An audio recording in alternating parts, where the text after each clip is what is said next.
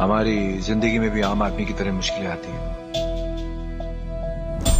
कभी कभी ऐसे क्राइम करने पर मजबूर हो जाते हैं ताकि अपने परिवार के लिए कुछ छोड़ कर जा सके। हम तो बस आम लोग हैं आपकी तरह। शायद बाहर के लोगों के लिए।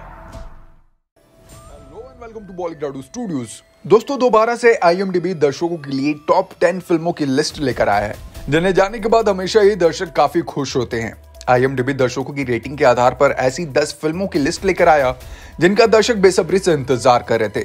दरअसल आईएमडीबी एक ऐसी वेबसाइट है जिस पर फ़िल्म से लेकर वेब सीरीज़ तक हर चीज़ की जानकारी आप लोगों को इजिली मिल जाती है। और इसीलिए हम लाए हैं आपके लिए वो दस फ़िल्में जो आईएमडीबी रेटिंग के हिसाब से नंबर वन से लेकर नंबर टेन तक है। खास बात यह है कि इस लिस्ट में आईएमडीबी के टॉप टेन लिस्ट में इस बार बॉलीवुड की पाँच फ़िल्में शामिल है। वैसे तो पिछले कई बार से साउथ की फ़िल्मों ने टॉप पर अपनी जगह बना रखी थी, लेकिन साल के खत्म होते होते फाइनली बॉलीवुड कम कर गया है। तो आइए देखते हैं कि टॉप पर वो कौन सी फ़िल्म है जिसका फैंस बहुत ही बेसब्री से इंतज़ार कर रहे हैं।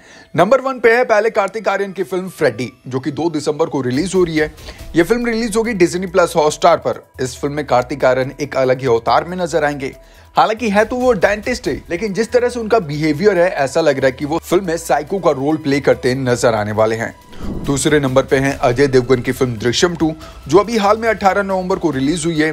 फ़िल्म बॉक्स ऑफ़िस पर अच्छी कमाई कर रही है। इस फ़िल्म की सबसे खास बात यह कि लोगों को एंडिंग और क्लाइमेक्स बहुत पसंद आया। साथ ही अक्षय खन्ना इस बार छा गए हैं इस फ़िल्म को करने के बाद से।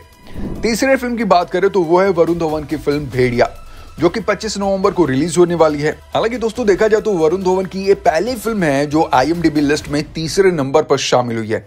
क्योंकि इतने एक्साइटिंगली वेट वरुण धवन की किसी भी फ़िल्म का लोगों ने नहीं किया होगा। अब बात करते हैं नंबर फोर की तो वो है विवेक ओब्रॉय और सुनील शेट्टी की सीरीज़ द रावी बैंक चौथे नंबर पे है और ये रिलीज़ होने वाली है चौदह नवंबर को। इसके अलावा देखा जाए तो काजुल की सलाम बैंकी जो कि है पाँचवें नंबर पे और ये फ़िल्म रिलीज़ होने वाली है नौ दिसंबर को। खास बात इस फ़िल्म की बात करें तो इस फ़िल्म में आमिर खान कैमियो रोल करते नज़र आएँगे। मतलब कह सकते हैं कि ये उनकी आखिरी फ़िल्म होने वाली है, क्योंकि इसके बाद वो काफ़ी लंबे ब्रेक पे जाने वाले हैं। मतलब अब वो फ़िल्में सिर्फ़ प्रोड्यूस करेंगे, नज़र नहीं आएँगे फ़िल्मों में। तो ओवरऑल दिसंबर में तो आईएमडीबी की लिस्ट में टॉप फाइव पर तो बॉलीवुड की फ़िल्में चाहिए लेकिन अब बात करें लिस्ट में नंबर सिक्स की तो वो है सुदीप और श्रेया शरण की फ़िल्म कब्जा, जो कि 22 दिसंबर को रिलीज़ होने वाली है। सातवें नंबर पर तमिल फ़िल्म लाठी है, जो कि 22 दिसंबर को ओटीटी प्लेटफॉर्म पर स्ट्रीम होगी। वहीं आठवें नंबर पर रितेश देशमुख और Genelia D'Souza starrer mister mummy जो कि ऑलरेडी 18 नवंबर को रिलीज़ हो चुकी है। बहुत अलग कॉन्सेप्ट पर बनाई गई फ़िल्म है, लेकिन बॉक्स ऑफ़िस पर लोगों को पसंद नहीं आ रही। नेक्स्ट फ़िल्म की बात करें, नौवे नंबर पे है तेलुगु फ़िल्म आहा ना पेलंता, और नंबर टेन है हिट द सेकंड केस जो कि रिलीज़ होगी 2 दिसंबर को।